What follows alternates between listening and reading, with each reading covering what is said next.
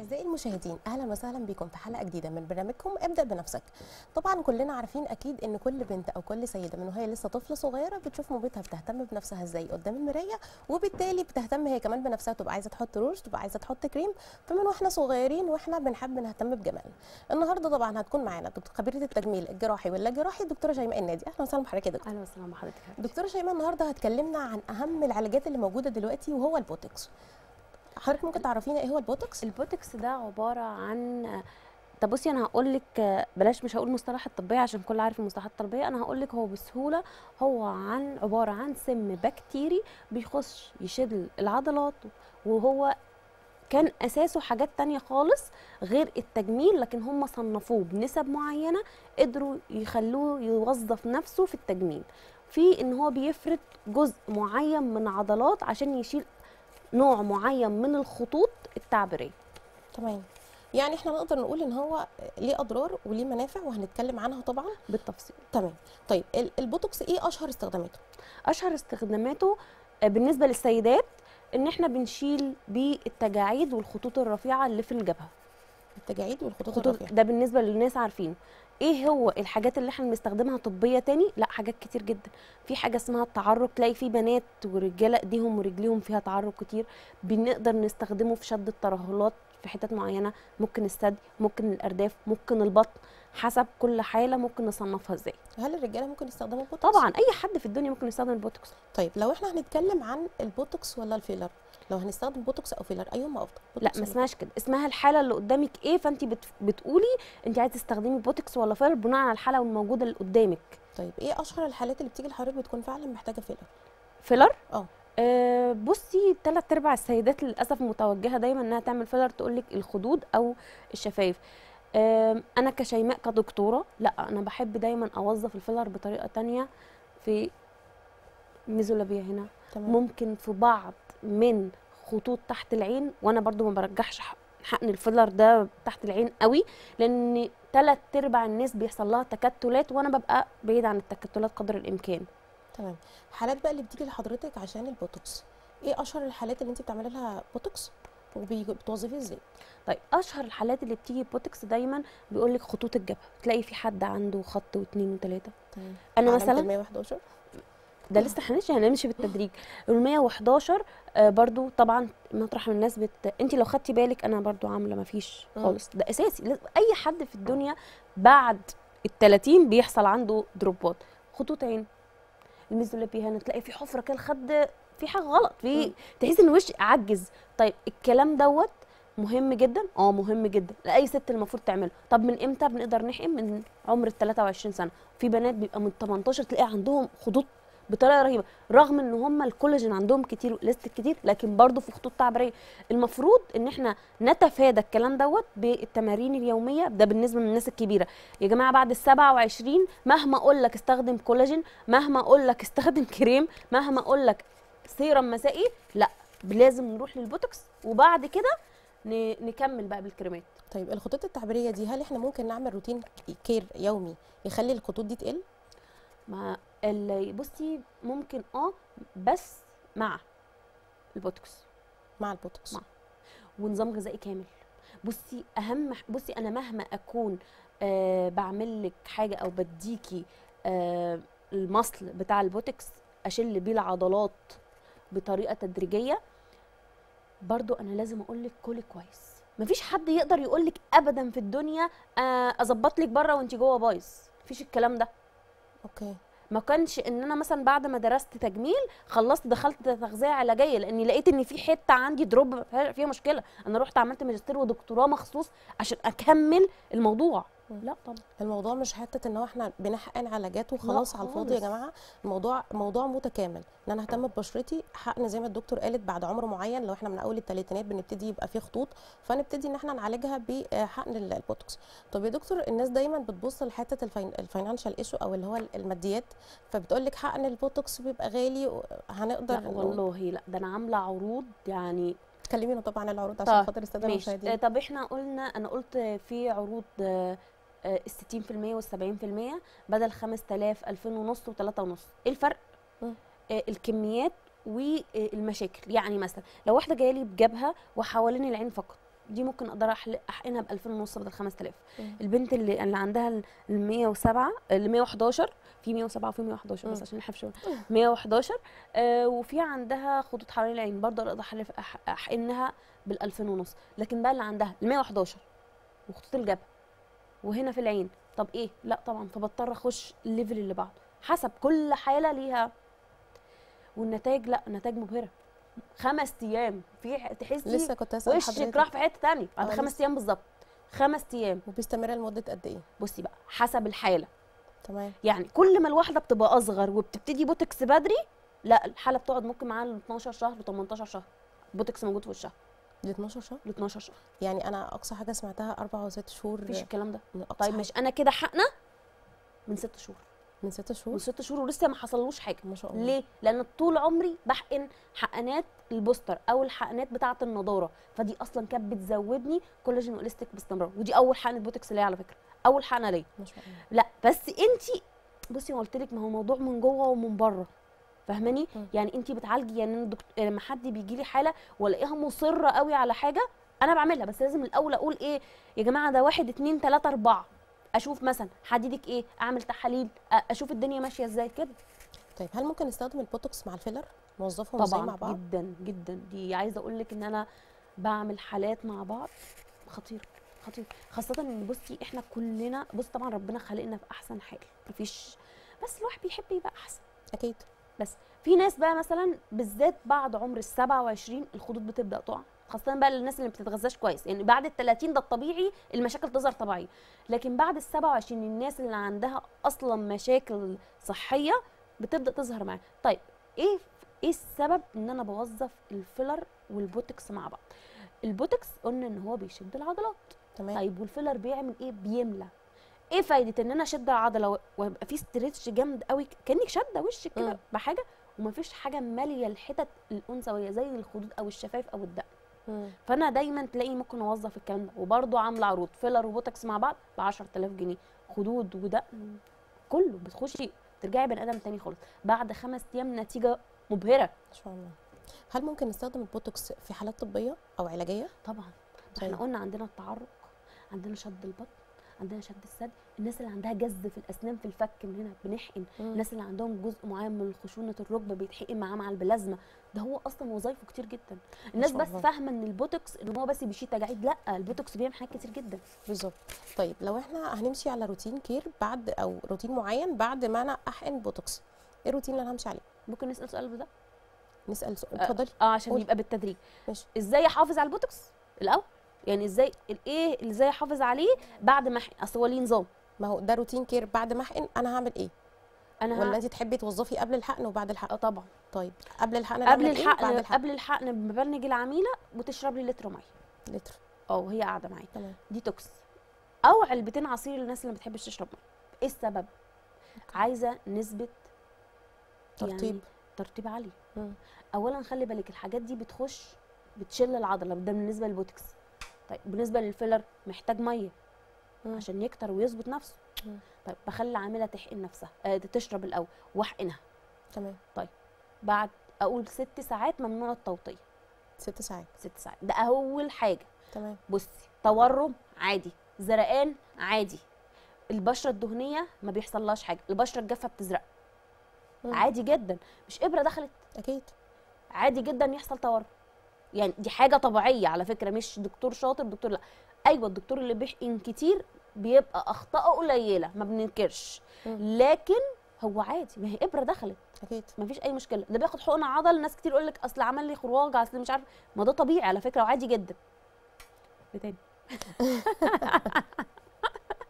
كلام حضرتك ممتع فاحنا مركزين في. الكلام. طيب يعني هو بعد بعد الكي بعد بعد ما نحقن إن أنا ما اوطيش أهم حاجة ست ساعات. ست ساعات. بعد كده بقى بيبقى عندي روتين فيه كولاجين طبعا بشرة دهنية يبقى حاجة فيها salicylic acid تمام. بشرة عايزة تفتيح حاجة فيها kojic acid أو آه، مثلا جيرسينج أي حاجة أي مادة من مواد التفتيح. plus طبعا الغسول بتاعك الأساسي.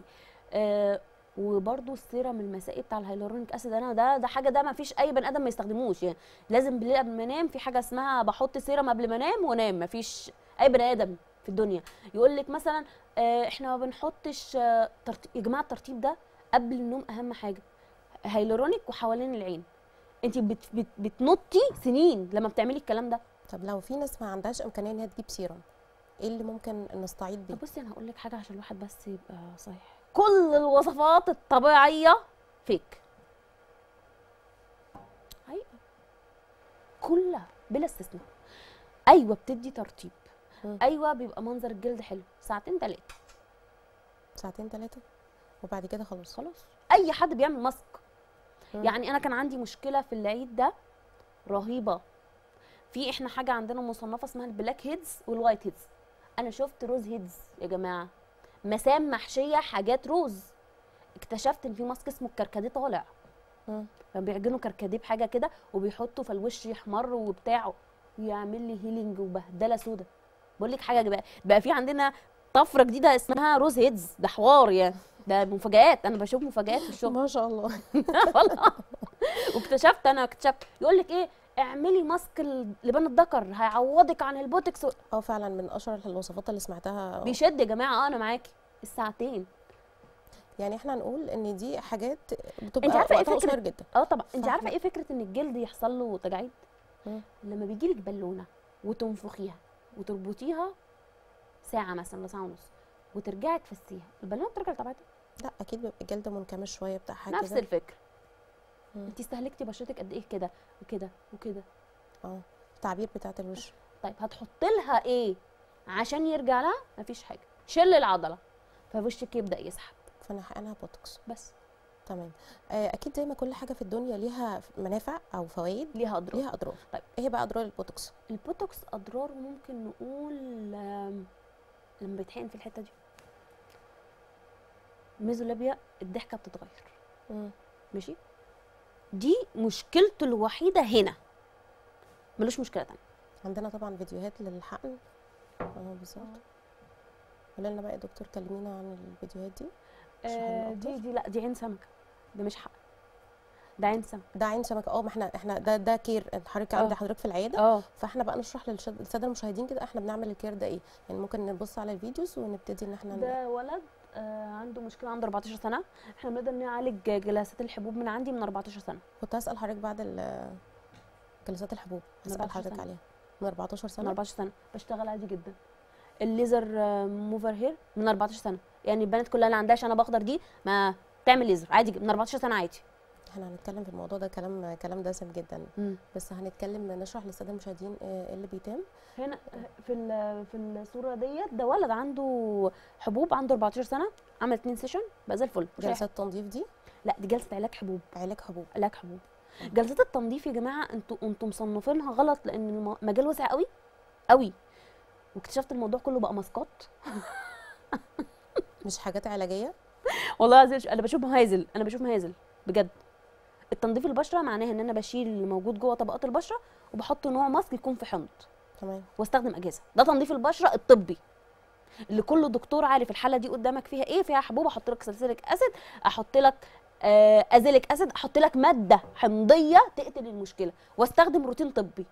تمام. واشوف العميل جاي لي أنا المفروض من كتر ممارستي ببقى فاهمة. مشكلته دي مثلا لو البنوتة بتبقى مشكلتها مبايض مشكلتها معدة وابدأ اصنف.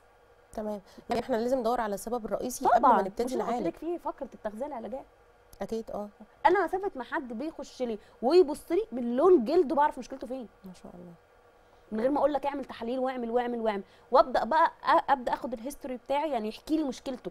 مم. وأبدأ بقى أنا أصنف هي فين وابدأ أسأل أسئلة معينة فيرد عليا بحاجات معينة أبدأ أعرف المشكلة فين. وذلك على كده بدي علاج معدة بدي علاج آه، لو في نسا وحالة معينة بدي. ما كانش كده لازم أعمل منظار وأعرف من الدكتوره المشكلة أو أشوف العلاج فببقى عارفة إيه المشكلة بتاعتها. طب كويس جدا. يعني آه، إحنا إحنا لازم يكون في care كامل لازم يكون في تناسق ما بين ال- ال care اللي أنا بقدمه للعيان يعني علشان أنا خاطر يدي مثلا. العيادة عندي هي مش ليها علاقة بس بال يعني عندي ده مجمع عيادات اسمه Pure Care. عندي. كذا line. يعني انت لما مريض عندي لما بيخش وفي عنده مشكلة ما أنا ممكن أحوله لدكتور جنبي في عيادة تانية في أوضة تانية. فده بيبقى برضو بيسهل عليكي بيسهل عليكي كتير جدا. فاهماني؟ آه، هنطلع فاصل ونرجع بعد الفاصل كده نعرف آه، إيه هي الأشكال الغريبة اللي بتحصل من البوتوكس ونتكلم عنها. فاصل ونرجع لكم على طول. استنوا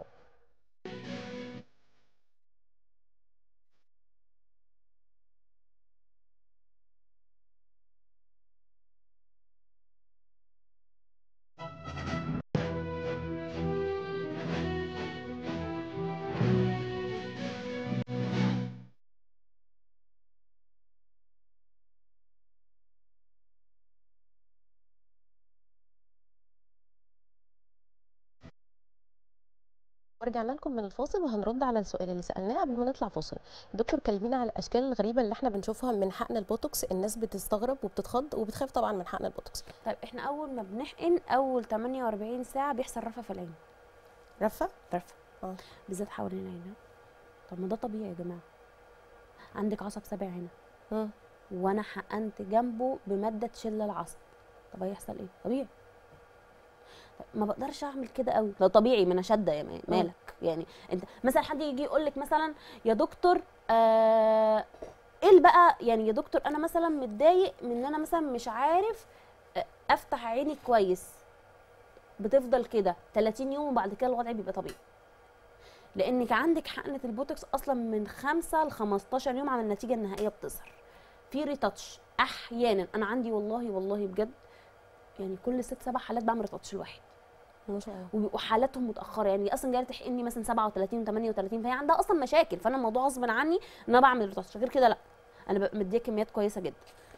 آه في كل حالة ليها نوع بوتكس معين يحقن يعني مثلا يدخل لي الدكتور واحد يقول لي دكتور أنا عايز احقن بوتكس كوري. طب أنت عارف إن البوتكس الكوري دوت هيبقى نتائجه عالية معاك؟ لا طبعا. أنا اللي ادرى بالظبط. لأ. ممكن هما من كتر البراندات والناس بدأت تعرف الموضوع ماشي إزاي لا طبعا الموضوع مش كده. أنا أدرى الجلد ده أحسن نوع مادة تخش له تبقى إيه فيها؟ ساكنة إزاي؟ أكيد. طب أنا احقنك سيشن زي ما أنت عايز والنتيجة بتاعتك؟ لا مش هيتحمل النتيجة. لما يحصل مشكلة دي مش دي. شغلتي أنا. شغلتي أنا عارفة أنا بعمل إيه. برضو زي بالظبط بصي لكل حاجة ليها مهندس بتاعها. يعني أكيد. إحنا في شغلتنا آه، لازم لا فيها فن. انت عارفة انت بتعملي إيه؟ بتخشي تعملي إيه؟ الشخص ده عايز إيه ولا إيه ولا إيه؟ يعني في ناس يجي يقول لك أنا عايزة احقن وشاف وشها متدمر حبوب. مم. بفضل بصلها كده لازم. تعالجي أكيد الأول. بقول لها أنا بس أنا مشكلتي انت مشكلتك مع الخطوط بس أنا مشكلتي مع الحبوب. مم. يعني انت جايالي عايزة تحطي عشان خطين أو تحطي فيلر مثلا ب 5000 جنيه في شفايفك وال 5000 جنيه ممكن نعالج بيهم حبوب؟ لا ببقى قاعدة عارفة اللي هو عاملة كده. طب نعالج الحبوب؟ ممكن؟ عارفة بعد إذنك نعالج حبوب؟ طيب لو إحنا دلوقتي هن... هنقدم لحضرتك كده يعني تكريم بسيط كده من مهرجان القاهرة اليوم وبنشكر حضرتك طبعا جدا على وجودك معانا النهارده. ولو هتقولي كلمة أخيرة للسادة المشاهدين يهتموا بنفسهم يهتموا إزاي؟ ماشي. ده تكريم من مهرجان القاهرة اليوم. بنشكر حضرتك جدا يا دكتور. حبيبتي. حضرتك بقى لو هتكلمينا بقى عن بصي أنا لو هكلمك عن آه، نصيحة كده بس نصيحة بصي أنا هقول لك إيه؟ طبعا أنتوا عارفين إن أنا life coach فأنا هقول نصيحة في حتة وبعد كده هقول نصيحة ثانية للثانوية العامة المشكلة اللي حصلت امبارح. okay. بس في عجالة بسيطة كده عشان أسرع حاجة. okay. آه النصيحة اللي بوجهها للناس كلها اهتم بنفسك. حبي نفسك كويس هتطلعي أحلى ما فيكي. مفيش حاجة في الدنيا تستاهل إنك انت ما تحبيش نفسك. شكرا جدا لحضرتك يا دكتور. أعزائي المشاهدين أشوفكم في حلقة جديدة المرة الجاية. مع السلامة.